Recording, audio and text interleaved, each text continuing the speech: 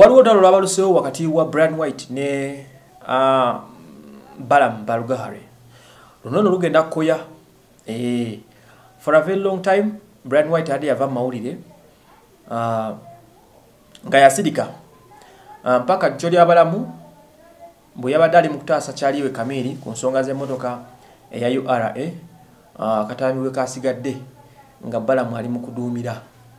Nti mukulu akole ki brian naye akwatibwe bw'aba alemesa omulimu okugenda mu maaso.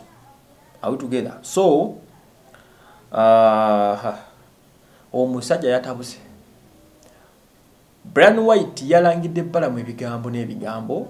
Brian white yawanze omuliro eri balamu brian white yatabukidde balamu n'amulangira nga bulijjo balamu bwayagala omusuula.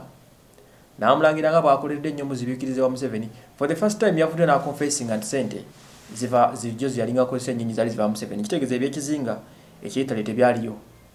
E, tebyaliyo just kaali kakookolo.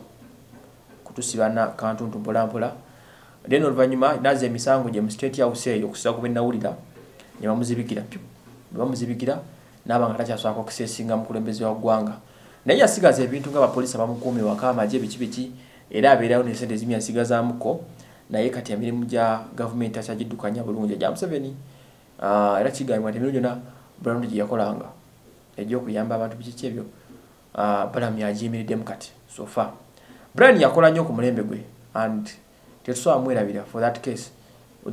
Ye muntu y'omu kwaba batini abaali bajja esente w'omukulu nezituuka mu bantu. Ebyaddala. Abafuna ku mukisa okulakusaniriza brian banzirya. Ebyaddala. And uh, tebyali byakwogerera people ate brian's money naye uh, yatugaye bamunyigiriza nnyo baganda omukuba n'atagwa kati yavudde n'alumba balamu namugamba balamu neesonyiwa naba bulabi oyagadde okunkuba okumala ekiseera naye sijja kugwa. Ah era n'amugamba openly ze sikwagala ompisiza bubi. Jjukira balamu ensi emulumiriza okuba nga yatowa order. Kamiri akwatibwe uh, ne brian waako olw'okulemeza ura okusoloza omusolo. Okitegeera abasajja balina amaanyi abantu wenda babuuza kati, kati balamu yafuuka updf commander nti alina okukwasaganya emirimu gya gavumenti kiki? Oba kitegeera enforcement yagikola abantu bewunya balamu kyebasinga okwebuuza balamu amaanyi ge? Okutuuka okukuba essimu n'atowa order nti oyo mumukwate ne guni mumukwate kamiri mumukwate ne brian mumukwate bwasibe era brian kafusimatuka katono nnyo brian okutwalibwa singa tekyali ki?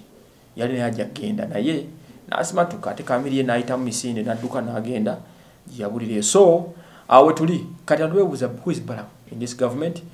Awo brian weyatabukire nagamba balam twesonyiwe tumanye oyagala tusuula ne tuveeko. So twabirunde gye birina kugera balam kyanamwanukula kuba kibatuusaako yo neyawaddeyo dda omuliro gwe n'agamba mm, amtayat saagala kamanyiro.